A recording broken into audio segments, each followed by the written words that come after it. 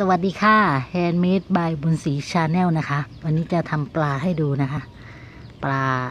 เทียบเป็นปลาจะละเม็ดผัดน้ำเค็มก็ได้นะคะ เดี๋ยวจะทำให้ดูว่าทำยังไงนะคะ ก็ใช้ใบจากสองใบนะคะใช้เป็นสองใบซ้อนรวมกัน ซ้อนแล้วนะคะ เสร็จแล้วเราก็มาม้วนลักษณะลักษณะอันนี้นะคะ แล้วก็สอดเข้าข้างใต้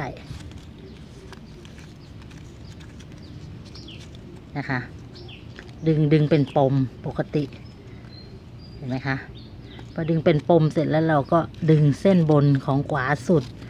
นะคะ สอดเข้า สอดเข้าใต้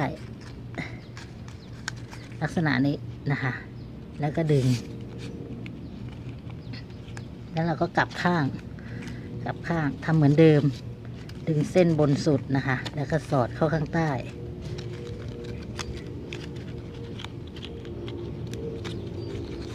เห็นไหมคะ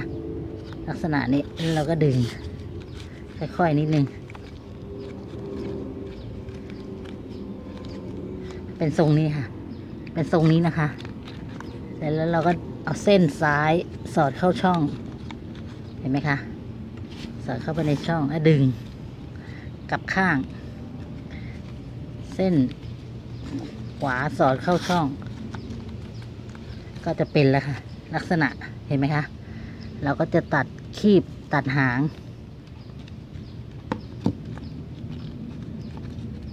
จัดทรงนิดนึงตัดคีบนะคะ ที่การตัดคีบก็อยู่ที่เราอะอยู่ที่เราจะแต่งนะคะ ลักษณะนี้สองข้างแล้วก็เราก็แต่งหาง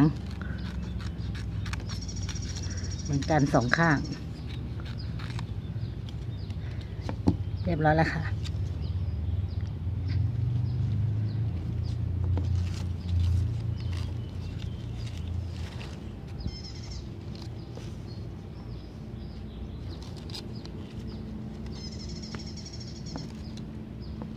ปลาทำด้วยใบจากฝากกดติดตาม กดไลค์ กดแชร์ เป็นกำลังใจให้ด้วยนะคะ ขอบคุณมากค่ะ สวัสดีค่ะ